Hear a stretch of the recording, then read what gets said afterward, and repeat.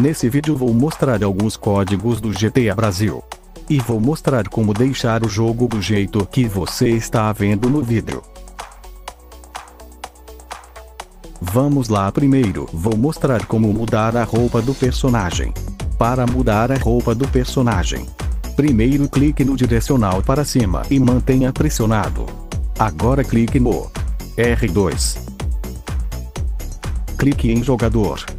Agora clique em aparência. Clique em roupas. Selecione a opção que tem o nome Pague Menos. Agora é só escolher a roupa que você quer usar no jogo. A camisa do jogo 17. 1 é a terceira opção. Agora vou mostrar como liberar as armas do jogo. Primeiro clique no direcional para cima e mantenha pressionado. Agora clique no R2.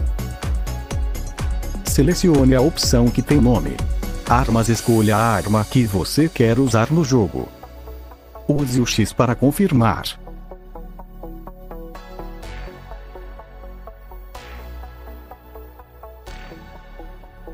Agora vou mostrar como fazer aparecer os carros brasileiros no jogo.